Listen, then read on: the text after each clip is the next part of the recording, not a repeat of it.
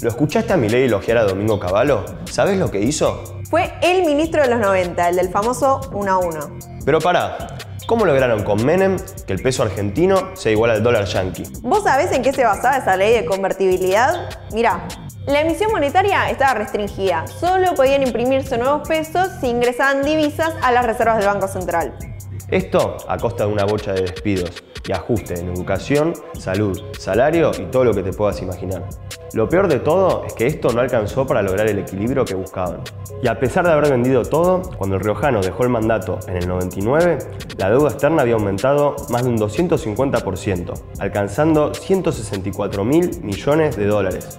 El ministro estrella de Milei dejó ese cargo con un 12% de desocupación y con un avance en la flexibilización de los derechos laborales y más trabajo precario. Y ahí no termina la historia. En el 2001 vuelve, esta vez como ministro de Economía de Chupete de la Rúa. Sí, el mismo que se fue volando en helicóptero. Emphasize in, connection with the eh, convertibility system. Visto cómo los ministros dominan el inglés more than the president.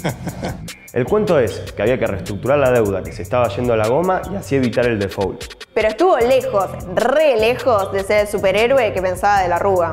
El acuerdo terminó deudando todavía más al país porque los acreedores postergaron por tres años el pago a cambio de una tasa de interés superusuraria. El 2001 será un gran año para todos.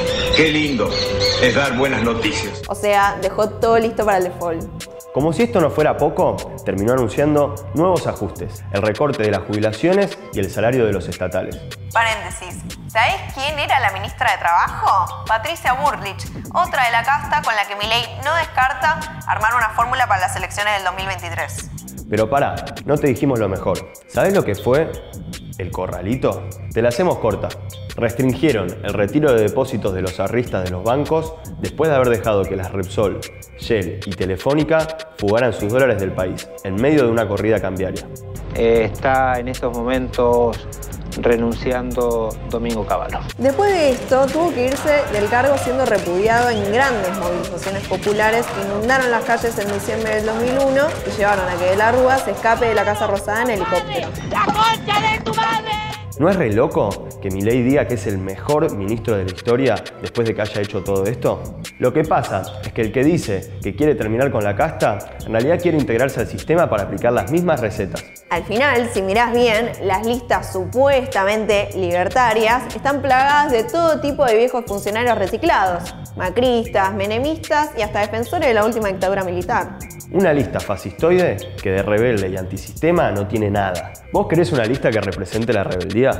Les rebeldes enfrentamos al fascismo y sus derivaciones. Defendemos la salud y la educación pública, los derechos laborales y la vida de los trabajadores y de la juventud.